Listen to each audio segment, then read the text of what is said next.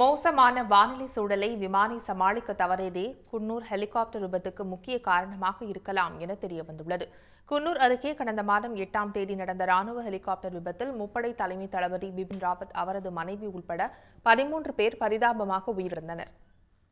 உலகையே அதிர்ச்சியில் ஆழ்த்திய இந்த சம்பவம் குறித்து இந்திய விமானப்படை விசாரணைக்கு உத்தரவிட்டுள்ளது.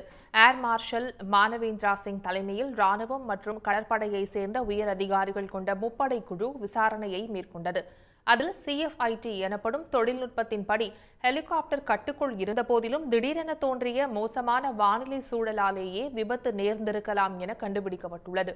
அப்பகுதியில் நிலவும் வானிலை குறித்த தவறான விழிப்புணர்வும் காரணமாக இருக்கலாம் என்றும் கூறப்பட்டுள்ளது. இது தொடர்பாக விசாரணை குழு நடத்திய ஆய்வுகளின்படி தயாரிக்கப்பட்ட அறிக்கைகள் அனைத்தும் சட்ட வல்லுநர்களின் ஒப்புதலுக்கு அனுப்பப்பட்டுள்ளது.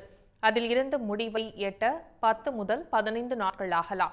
அதன் பிறகே குன்னூர் ஹெலிகாப்டர் விபத்துக்கான சரியான காரணம் தெரியவரும் என தெரிகிறது.